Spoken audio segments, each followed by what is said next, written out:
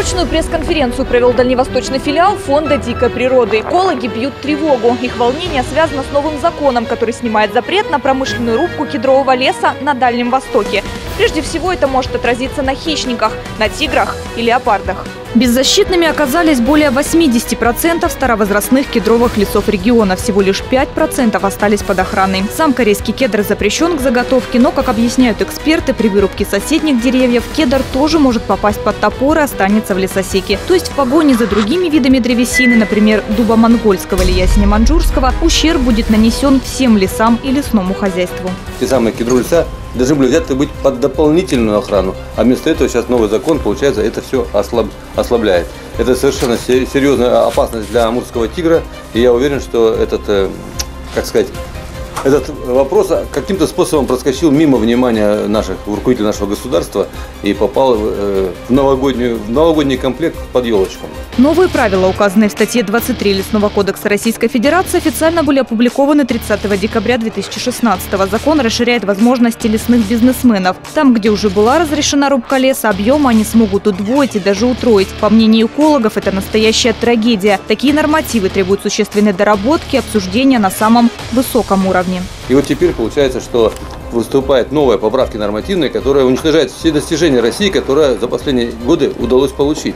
В 2010 году во время Стеглиного саммита в Санкт-Петербурге было обещано, что мы популяцию тигра даже увеличим еще.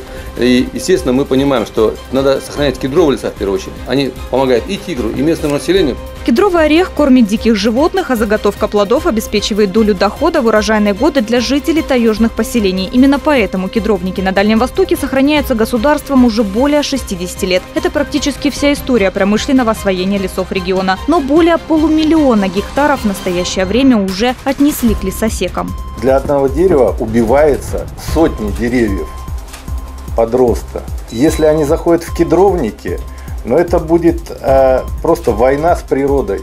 Вот поверьте, э, мне, как э, человека, который 40 лет ходит по Приморской тайге, Чистых кедровников в Приморье очень мало. В основном это кедрово-широколиственные леса. При этом последние десятилетия восстановлением ценных пород экологи и просто неравнодушные люди занимаются каждый сезон. Деревья высаживают и в таежной полосе, и рядом с населенными пунктами, и даже возле школ и университетов.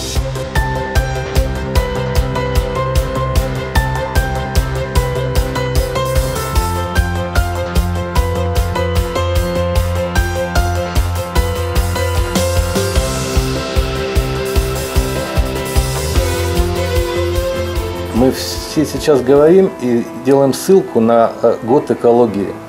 Ну, ребята, не должно быть года экологии. Но должен быть век экологии. Вот. Да, мы вот сейчас один год тут позанимаемся экологией типа и, и забудем. Но так такого не должно быть.